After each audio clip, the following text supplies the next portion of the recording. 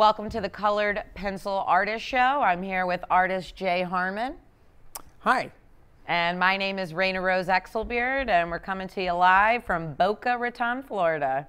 Great place to be. Oh, yeah. So, Jay, I got to ask you my favorite question. Uh-huh. Why were you named your name? Where, where does that come from? My, my name, uh, my real name, Jay, that is actually uh, my grandfather's name. Wow. And uh, I was named, actually, my first name and my middle name uh, are from my two grandfathers. And uh, I did the same for my son. I named him after his, uh, his two grandfathers. So it's kind of a traditional, uh, traditional thing. That's amazing. And uh, before the show, we were talking, and uh, I found out that you are a fellow FAU alumni. You bet. Uh huh. Yep. Go Owls. Mm-hmm. And you mentioned that you were in the first graduating class. I was, 1973. I, uh, I graduated from FAU in television broadcasting communications. Wow. And uh, you know, it, uh, TV has come a long way since uh, since that time. But uh, you know, I was uh, really happy at, at, that time. It was something that was rather new in uh, in colleges to right. get into TV because before that they had had public speaking, radio, and things like that. But television was something that was that was rather new to get a degree in. And so I said, wow. I'm going to be on that train. You know, so it. Good for you. And that's quite a jump to go from broadcasting to mm-hmm. art. Mm-hmm. So tell me a little mm-hmm. bit about that journey. Well, it was a, it was an interesting uh, interesting transition.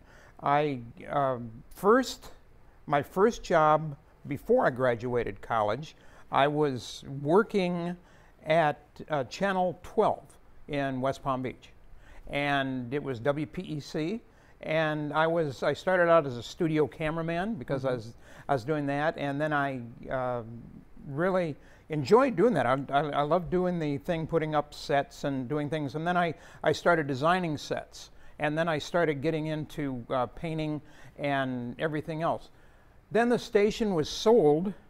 Uh, it was WEAT originally, and then it mm. was sold to um, Alex Dreyfoos, who is uh, the founder of uh, Dreyfoos School of, uh, of the Arts. Oh, I've mentored some teens there. Uh huh. Yeah. And uh, so he saw the artwork that I had been doing there and the sets and everything, and he asked me when the uh, when it changes uh, if I would come up to the new station and be their new art director. Wow. So I was the the first art director working at at Channel 12. And uh, so I did that for a while. And uh, you know, my next career, I've had I've I've had a few careers, and uh, my next career was uh, working at the Palm Beach Post. I wow. went to the Palm Beach Post, and I'm as, as you can hear, I've I've been a uh, Palm Beach County guy most of my life. So uh, I've you know kind of had to seek out things that I wanted to. That I wanted to do. So I went, I went to the Post and I got a job first as a um, a commercial artist working doing ads and uh, and everything. And I worked there for uh, for some time. And then I switched over and I became a composing artist uh, where we actually put the uh, the pages of the uh, of the newspaper together. Wow. And uh, then when because I I knew computers when they went all computerized from the old style of pasting up to doing everything on computers uh, they asked me if I would uh, if I would stay and uh, and work with them uh, with the computers and teach the people who weren't as computer literate how to uh, do composing on a computer. And that's mm-hmm. when the whole thing changed. And the, you know, I mean, everything has changed so much mm-hmm. over over the years. You know, and yeah. and from from then I went on and I I went back to school got my teaching certification and went to school as a uh, as an art teacher.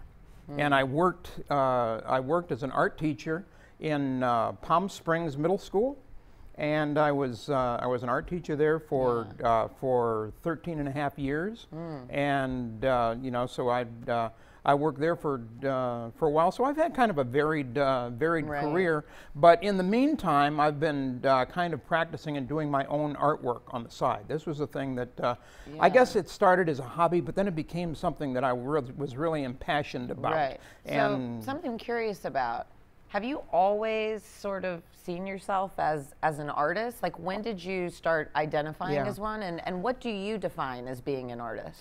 Um, I would say I've, I've always been doing something with art. I mean, I, as far back as I can remember, when I was, uh, you know, even when I was a little kid. I mean, I, I did I did love coloring books. I did I drew all the time.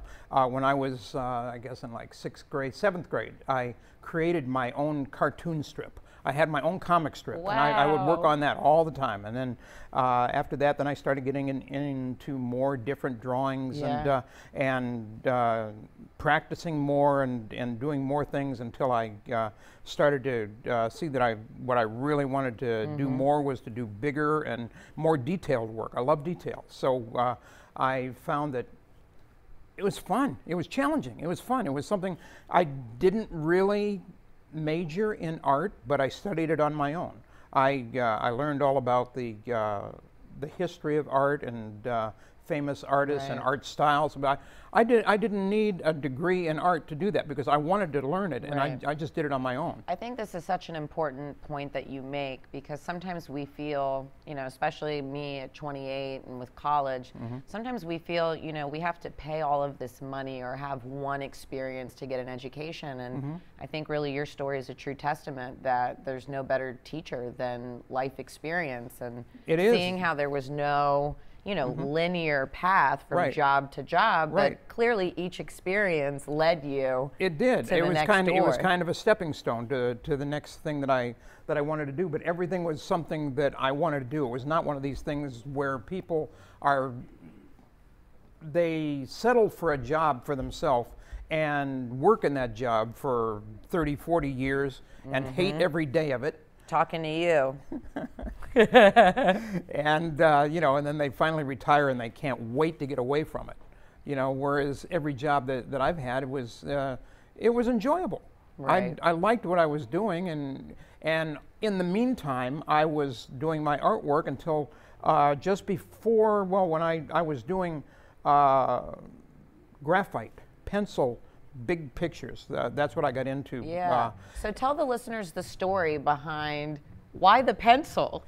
Uh, I have always uh, loved doing pencil work. Okay, pencil to me, because everybody is. I've known so many artists over the years, and you know, working with paint and oils and everything, and I don't know. I don't have that much ambition. I, I like to do something that I can just I can just draw it. Doesn't have to clean it up, put it away, and get it out the next time. And I'm not uh, I'm not there worrying about uh, do I have to uh, you know are the oils dried? Are they good? Can I paint over that? Can I do? it? I just do you know do it like that. So that's why I like pencils. And I started out with graphite pencils. And that's uh, for you out there. That's uh, graphite is black and white pencils. You've always heard that uh, pencils are made with lead. Wrong. Pencils do not have any lead in them. Okay, that's uh, that's a total misconception. If you've ever been stuck with a pencil, uh, you're not getting lead poisoning. Okay, so um, anyway, I I used uh, I started working in uh, uh, in regular pencils, and I got whole pencil sets. I learned about uh, drawing on how to how to use different pencils, like the standard pencil, the HB pencil, the Right.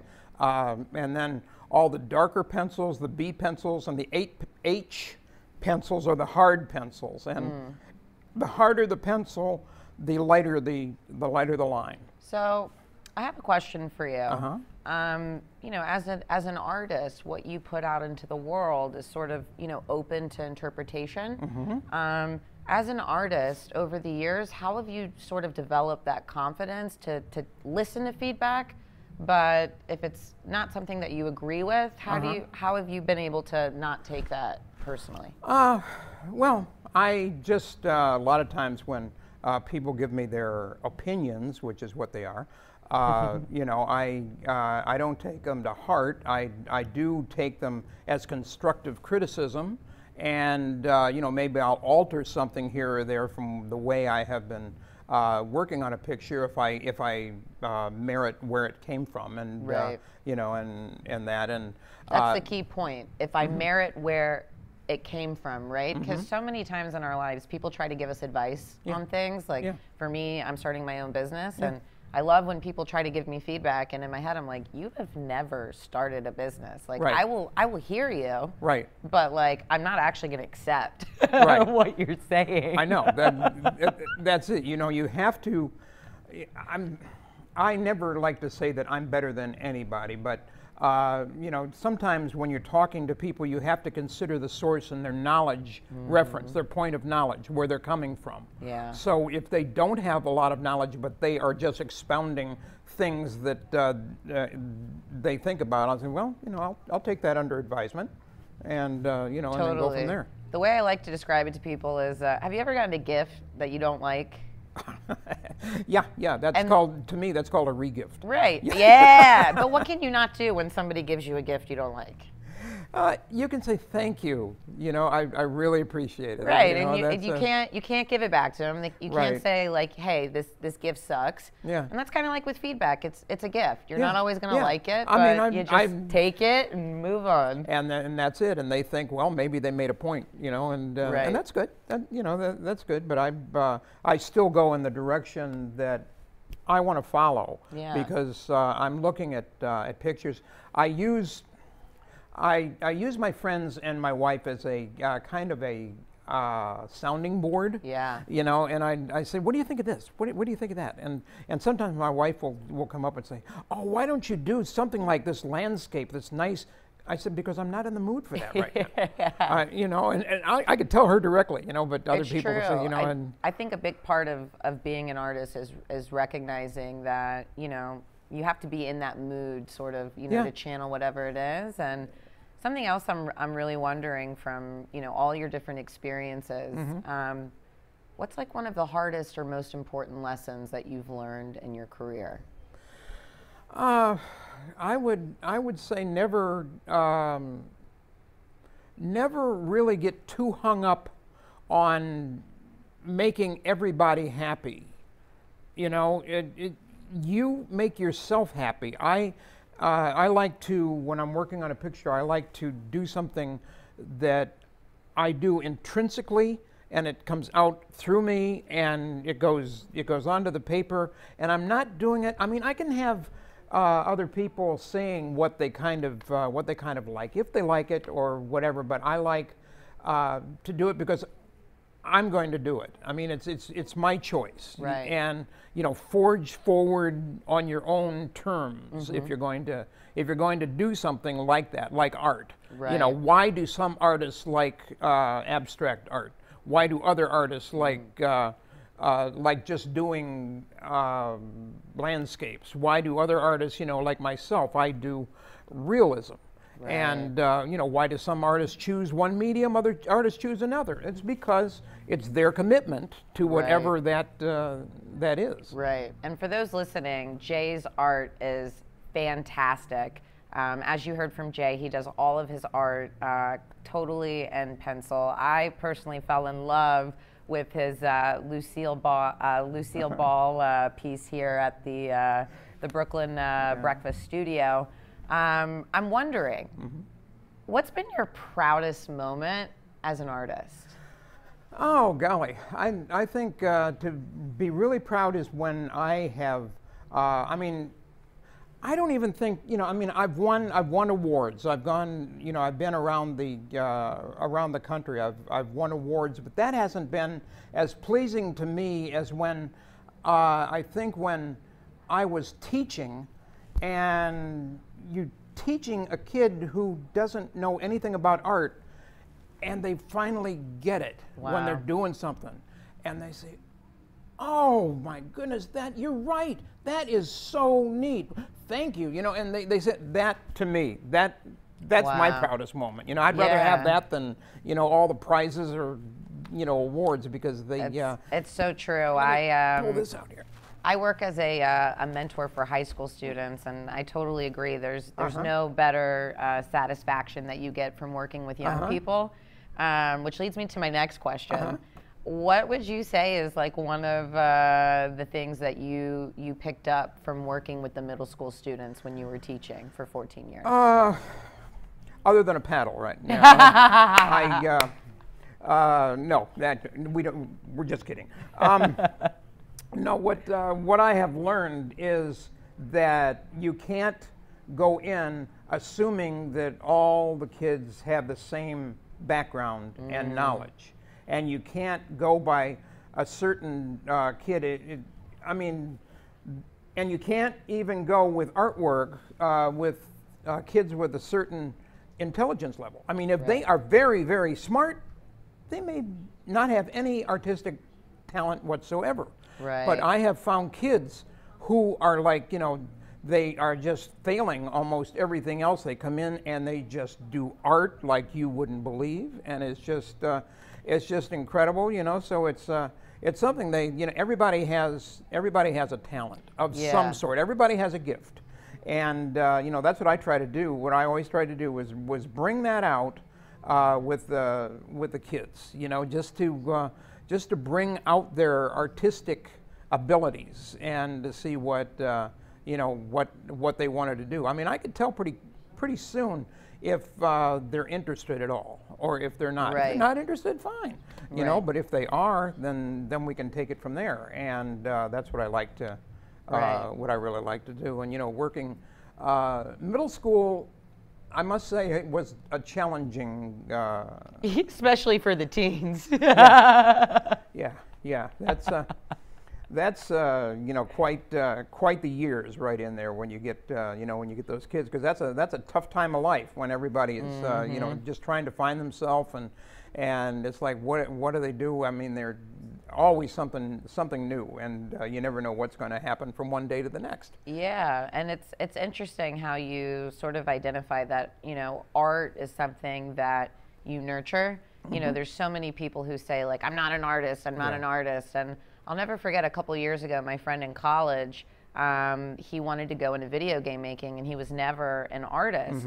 But he took a drawing class. He failed it twice, but by the third time he took it, he was drawing people so realistically, Really? and that was the first time in my life where I was like, "Oh Yeah. my god!" Like, Yeah. you can actually get better at art. It's just You not can. something that you're Um, good or you're bad. Well, actually, uh, what I what I've told a lot of my classes, I cannot make you become an artist. It's true. I can teach you the techniques. I can teach you the mechanics.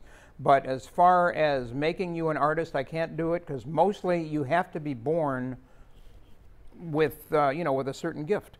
You Yeah. you really do. Not everybody is, but that's the that's the the thing about it. You know, some people have other you know have have many uh, different gifts, but I'm I think you know from talking uh, as an artist from an artist standpoint that uh, you know I I can't teach them to be an artist, but some people, like you said, went from not being able to draw to being great. He had the gift.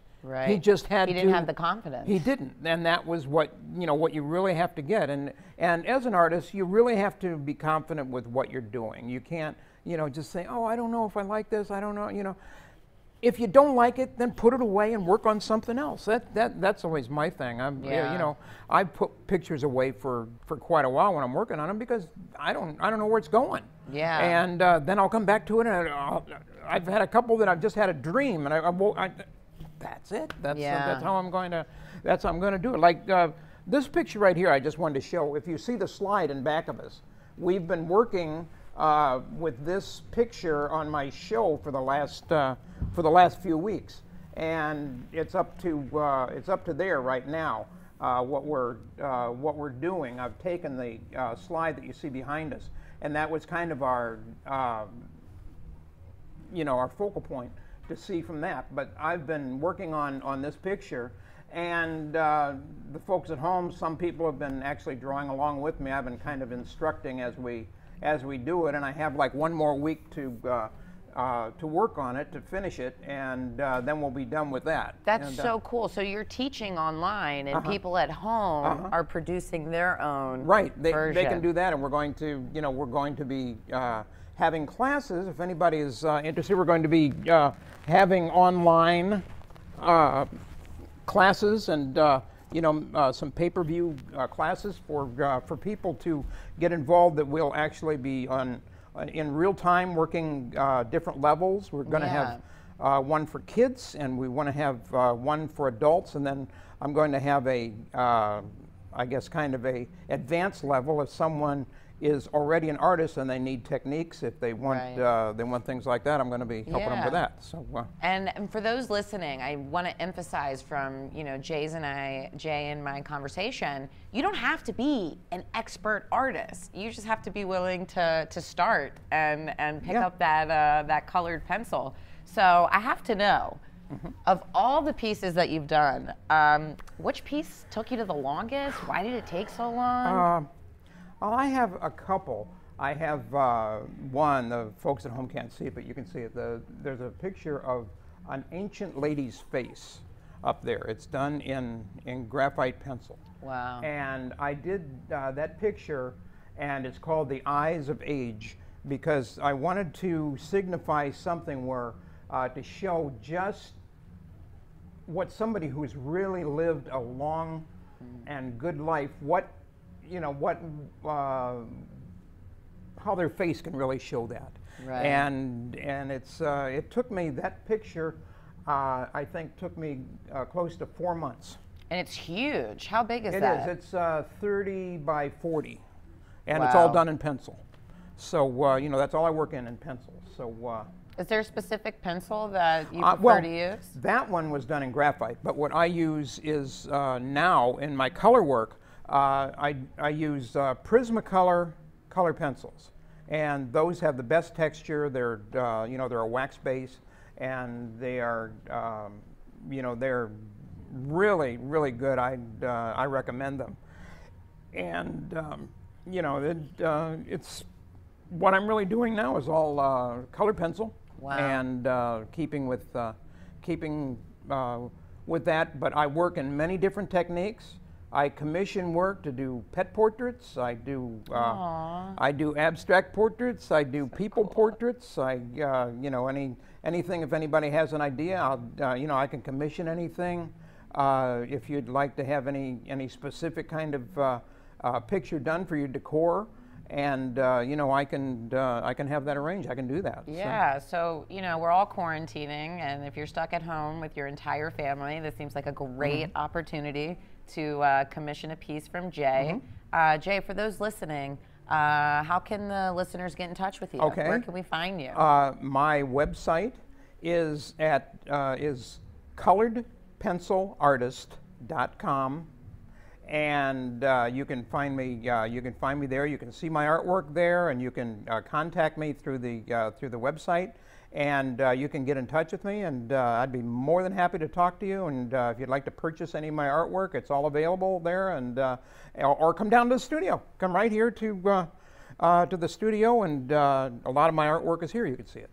That's amazing. Jay, this conversation has been so inspirational. I, I once heard the hardest part of being an artist is knowing to when to put the pencil down. But considering you are an expert uh, with the pencil, I don't see that that's a challenge that uh, you'll ever face. And uh, Well, when my name goes on it, that's the that's that's done. that's true. All great artists sign their work. And with that, Uh-huh. thank you so much uh, for listening. And we're wishing all the listeners all over the world a happy Thursday. Jay Harmon exclusively in the Gallery of Boca. Jay Harmon captures the essence of really creative and captivating mind. Jay Harmon brings light into the darkness on majority of his pieces using a negative background to highlight the details of some of his looks. I know some artists use white canvases, but he thrives on a black canvas. And here's the kicker he only uses pencil, colored pencil,